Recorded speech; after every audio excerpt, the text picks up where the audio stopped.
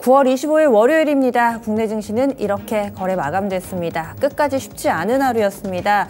주말 지나고 나서 아직까지 웜업이 되지 못하신 분들, 시장에 감을 잡지 못하신 분들은 그 어느 때보다도 오늘 월요병이 좀 심하게 오셨을 거예요.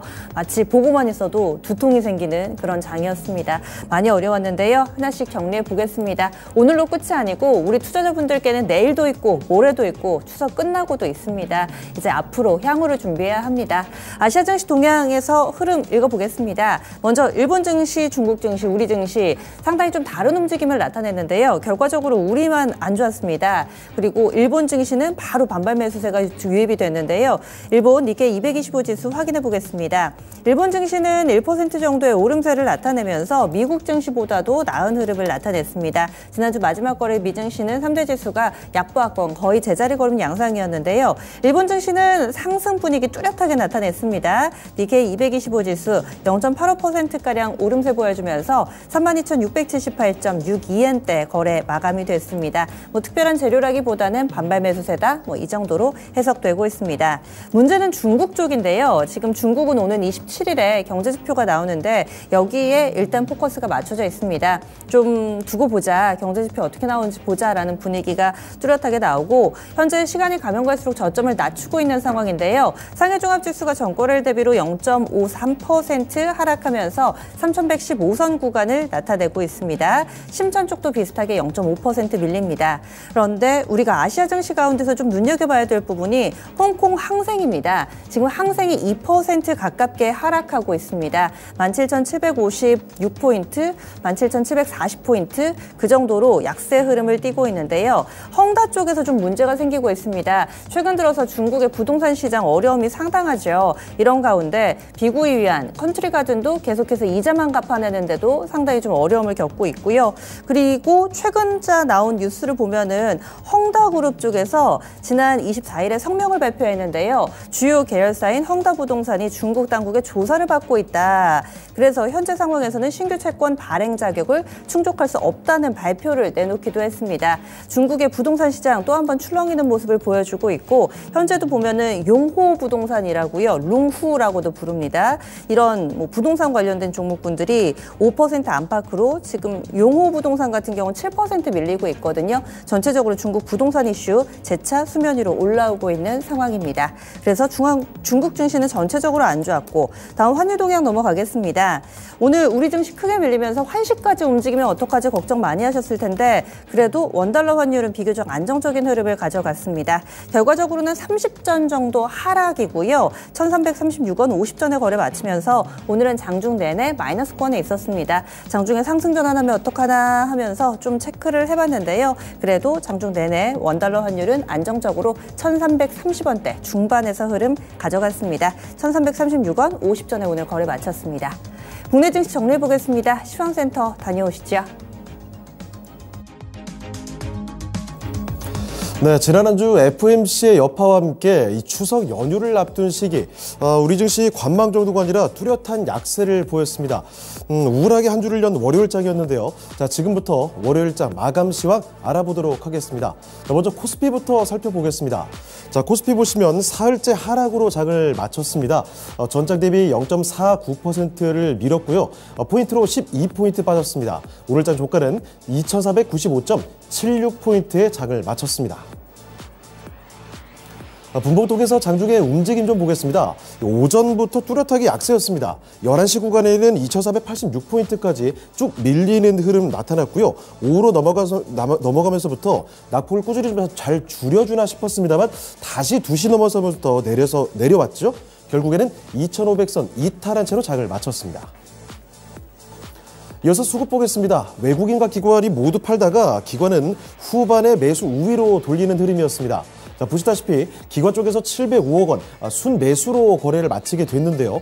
아, 이쪽 외국인이 역시 뚜렷하게 좀 팔았습니다. 외국인은 1,300억 원 이상 아, 매도 우위가 나타났고요. 이런 가운데 개인 486억 원 순매수로 거래를 마쳤습니다. 자, 이어서 업종별 등락도 살펴보겠습니다. 어, 확연히 하락 업종이 많았습니다. 먼저 등락률 하위 순으로 체크를 해 보실 텐데요. 어, 철강 금속업 쪽이 유독 좀 많이 떨어졌죠. 역시 대표 종목인 포스코 홀딩스의 급락 때문이었습니다.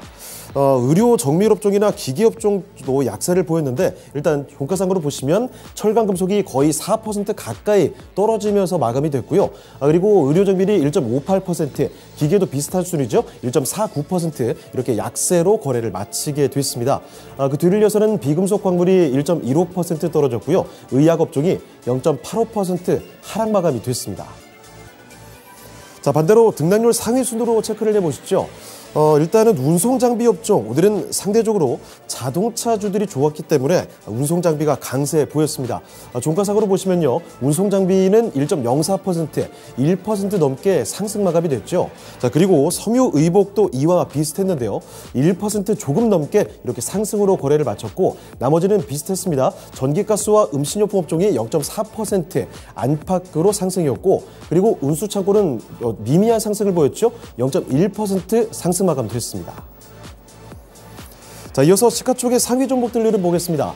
먼저 이 삼성전자가 그래도 상승권에서 움직여주면서 지수 급락은 좀 막아줬습니다. 어, 하이닉스는 반대로 소폭 하락권에서 움직이는 모습이었는데 삼성전자와 하이닉스 함께 종가 체크해 보도록 하겠습니다. 삼성전자 보시면요. 일단 전장 대비 0.87% 상승으로 거래를 마쳤죠. 하지만 7만 원대 회복까지는 해주진 못했고요. 어, 전장 대비 0.87% 올리면서 6만 9,400원에서 장을 마쳤습니다. 아, 반대로 SK하이닉스는 약보합에서 거래를 마치게 됐습니다. 어, 전장 대비 어, 소폭 내려가면서 하이닉스는 11만 7천 원에 약세 마감됐습니다. 자 그리고 오늘장 2차 전지적 분위기가 싸늘하게 식었습니다.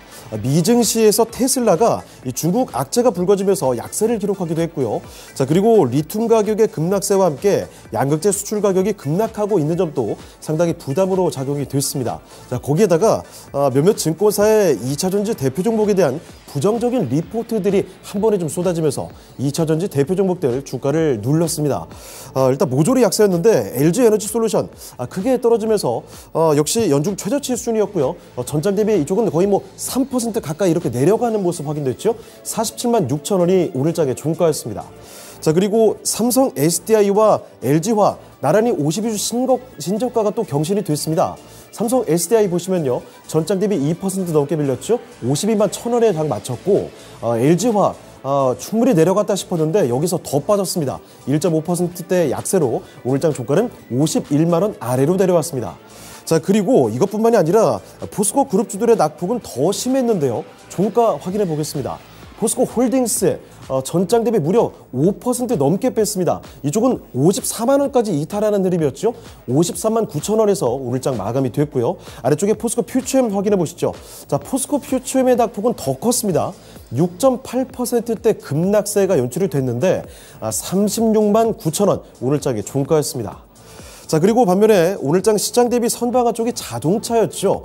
어, 자동차는 올 4분기 자동차 업종 주가가 상승 곡선을 그릴 것이라는 전망이 나왔습니다. 어, 3분기 국내 파업 리스크가 해소가 되고요. 전미 자동차 노조 파업의 장기화에 따라서 매수 적기가 임박했다라는 겁니다. 자, 자동차 종가 보시죠. 현대차 상승이었습니다. 0.7% 올리면서 19만 2,900원에 이쪽 상승 나왔고요. 아래쪽에 기아도 보시면 어, 상승 탄력이 더 컸죠. 2.37% 올리면서 8만 2,100원에서 장을 마치게 됐습니다. 아래쪽에 현대모비스까지 보시면요. 현대 모비스는 상승 탄력 더 컸습니다. 거의 3%를 올려주는 흐름이었는데 오늘장 종가는 24만 6,500원에서 확인됐습니다. 네, 다음으로 특징 좀 보겠습니다. 어, 중국 소비 관련주들을 보겠습니다. 다가오는 우리 추석 연휴가 있죠. 어, 추석 연휴처럼 중국에도 국경절 연휴가 있습니다. 이 황금 연휴에 유커가 몰려올 것이라는 기대감에 관련주들이 강했습니다. 아, 무엇보다도 이 화장품주들 주가가 좋았는데 거래소도, 거래소부터 먼저 보시죠. 어, LG 생활건강이나 아무래퍼시픽 대표 종목들부터 일단 2%대 상승이 나왔습니다. 아, 그리고 또 한국콜마나 토니모리 같은 종목도 강세를 보였는데 상승 탄력이 보다 컸죠. 어, 한국콜마는 전장 대비 4% 넘게 올렸습니다. 5만 1,700원에서 강세 마감이 됐고요. 아, 그리고 토니모리도 3% 넘게 올렸죠. 5,470원이 오늘장의 종가였습니다. 자 그리고 코스닥에서도 보시면 어, 강한 종목들이 상당히 좀 많았습니다. 마녀 공장이 7% 넘게 올리면서 정확히 3만 원대에서 어, 오늘 종가 확인이 됐고요. 아, 그리고 아이패밀리 SC 4.29% 그리고 클리오가 4.9% 올리면서 나란히 4%대 강세 마감이 됐고요. 그리고 오가닉티 코스메틱은 아, 장중에는 상당히 강했습니다만 윗꼬리 꽤 길게 달았죠. 0.6% 올리는데 그쳤습니다. 자 그리고 이 밖에도 여행주에서 이 하나투어 오늘 2% 넘게 강세였죠. 그리고 글로벌 텍스프리 면세 쪽에서는 이런 종목이 강세를 보였습니다. 아 그리고 음, 국내 상장 중국 기업인 헝션그룹까지 중국 관련들의 종목이 이렇게 강세를 뚜렷하게 보였던 오늘장이었습니다. 자, 이번엔 코스닥으로 넘어가 보겠습니다. 코스닥을 보시면 2회째 하락으로 장을 마치게 됐습니다. 아, 게다가 낙폭도 상당히 깊었는데요. 아, 전장 대비 무려 2% 넘게 하락이었습니다. 포인트로 20포인트 가까이 내렸고요. 오늘 장의 종가는 840포인트를 이탈하면서 839.17포인트의 장을 마쳤습니다. 자, 분봉통에 보시면 거래소처럼 오전에 쭉 밀리면서 842포인트까지 찍고서 낙폭을 좀 줄여가는 흐름이 확인되나 싶었습니다만 오후장 계속 이어가지를 못했습니다. 아, 또 슬금슬금 내려오더니 장 후반까지 낙폭을 더 확대시켰고요. 결국 오늘장의 종가가 장중에 저가가 됐습니다. 자, 수급 보시면요. 역시나 외국인의 매도 공세를 이겨내지 못했습니다. 아, 기관 쪽에서는 아, 매수 우위로 돌려내는 흐름이 확인이 됐지만 아, 기관이 130억 원 정도 매수세로 확인됐습니다. 하지만 외국인이 뚜렷하게 팔았다는 거죠. 자, 외국인은 1,300억 원 이상 이렇게 순 매도를 보이면서 오늘장 지수를 누르는 요인으로 작용이 됐고요. 개인 쪽에서 1,200억 원 가량 순 매수가 확인됐습니다. 자, 이번에 시가총액 상위 종목들을 보겠습니다. 2차 전지부터 보실 텐데 아, 에코프로 그룹 주들의 주가가 오늘장 울상을 넘어서 공포감이 감도는 수준이었습니다. 아, 에코프로 BM에 대해서 목표 주가 20만 원을 내놓은 리포트까지 나왔는데 지금 가격보다 한참 미치라는 거죠. 아, BM도 일단 뭐 급락세를 보였고 버텨주나 싶었던 에코프로도 함께 따라갔습니다. 종가상으로 보시면요. 동시호가 구간치라면서 더 밀어버렸죠. 에코프로 BM 9% 가까이 급락입니다. 26만 1,500원에 장 마쳤고요. 에코프로도 무려 8%를 이렇게 급락시키면서 90만 아, 원 이탈했고요. 88만 원이 오늘 장 종가였습니다. 자 그리고 이에 비해서 포스코 DX나 LNF 이쪽이 덜 빠지기는 했지만 하락을 면치는 못했습니다. 아, 특히 LNF도 증권사의 목표 주가가 내려갔는데요. 아, 그나마 이쪽은 어, 내려봤자 40만 원, 현재 주가보다는 두 배 이상 높았습니다. 종가 보시면요. 포스코 DX가 3% 내리면서 정확히 5만 원에 장 맞췄고요. LNF는 아, 그나마 그이 중에서는 2차전지 관련주 가운데서는 낙폭이 가장 덜했습니다. 2.82% 하락으로 17만 5,500원이 오늘 장의 종가였습니다. 자 그리고 아, 반대로 강했던 쪽을 보면 제약바이오에서는 역시 알테오젠이었습니다. 아, 최근 장에서 거의 두 배 가까이 올렸는데 조, 조정을 좀 받나 싶다가 다시금 급등세를 보였죠. 오늘 아, 장 막판까지 상승 탄력을 더 붙이면서 52주 신고가 경신이 됐습니다. 알테오젠은 15% 급등이었고요. 8만 1천원에 장을 마쳤습니다. 자 그리고 주요 아티스트들의 컴백 기대감에 따른 엔터주들의 강세 JYP 엔터와 SM 모두 올랐는데 JYP 엔터테인먼트 특히 강했습니다. 종가 보시면요. JYP 엔터는 전장 대비 무려 7%를 이렇게 들어 올리면서 11만 3,200원에 장을 마쳤습니다. 자 이번에 특징으로 넘어가 보실 텐데요. 정치 테마 보겠습니다. 아, 증시가 부진한 가운데 이 정치 테마주들이 자주 거론이 되고 있습니다. 전 거래에 이어서 오늘도 마찬가지 흐름이었죠. 아, 특히 오늘 화제가 됐던 건 조국 전 법무부 장관의 테마였습니다. 아, 조전 장관이 내년 총선 출마를 고민 중이라고 밝히면서 관련주가 강하게 올라갔죠. 화천기가 오늘 상한가까지 급등하는 흐름이었는데 4,520원까지 이렇게 급등했습니다. 그런데 이 모회사인 화천기공도 같이 강세를 보였죠. 오늘장 화천기공 아, 윗골을 좀 달았는데 그래도 5% 가까이 올렸습니다. 자 그리고 체포한 가결 소식에 곤두박질 쳤던 어, 더불어민주당 이재명 대표 관련주들 아, 오늘은 모두는 아니고 올라오는 종목들이 더 눈에 띄었습니다. 관련주 보시면요. 동신건설 그리고 아모텍 같은 에이텍 같은 종목이 이렇게 나란히 6% 안팎의 상승 흐름 가져갔습니다. 윗골이 좀 다소 달았고요. 아, 토탈소프트가 아, 강복권에서 장을 마치게 됐죠.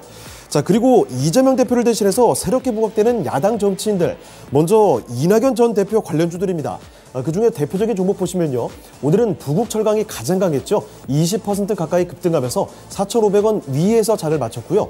아, 그리고 남아토건이나 서원 같은 종목도 윗골이 꽤 길게 달았지만 그래도 강세 마감이 됐습니다. 그리고 그 중에서 최근에는 가장 돋보였던 종목인데 남선알미늄 오늘장은 약간 약보합에서 거의 약간 하락하면서 거래 마쳤죠. 2,590원이 오늘장의 종가였습니다. 자 그리고 넘어가서 어, 김동연 경기도지사 관련주들도 부상을 하는 모습이었는데 대표 종목들 보시죠. 어, CCS 오늘장 상한가까지 들어가나 들어가서 마치나 싶었는데 음, 윗골에 조금 달았고요. 20% 올렸습니다. 1150원에서 종가 확인됐고 PM 풍년 같은 종목도 윗꼬리를 꽤 길게 달았지만 그래도 10% 가까이 올리면서 만 원대 위에서 장 마쳤고요. 아, 그리고 마지막으로 여권에서는 한동훈 장관 관련주들이 부상을 했습니다. 관련주 종가 보시면 놀이 28% 거의 상한가에서 거래 마쳤고요. 태양금속 8%대 간세, 오파스넷이 2%대 올리면서 장을 마쳤습니다. 자 그리고 하나만 더 보시면 특징주로 로봇주들 보시죠. 두산 로보틱스 청약의 흥행 소식에 아, 관련주들 일부에서는 급등세를 보였습니다. 특히 이레시스 같은 종목이 2연상 들어갔죠. 52주 신고가 경신이 됐습니다. 아, 오늘 이랜시스는 상한가에서 그대로 장 마치면서 5,920원이 종가가 됐고요. 아, 그리고 유진 로봇이 이틀째 강세 분위기 이어갔죠. 전일 대비 8% 올리면서 14,210원에 장 마쳤습니다. 이 밖에 뉴로메카와 RS 오토메이션 장중엔 활약상 보였지만 윗꼬리 꽤 달았고요. 뉴로메카는 2%대 강세 그리고 RS 오토메이션은 0.7% 올리는데 그쳤습니다. 네, 지금까지 마감 시황 전해드렸습니다.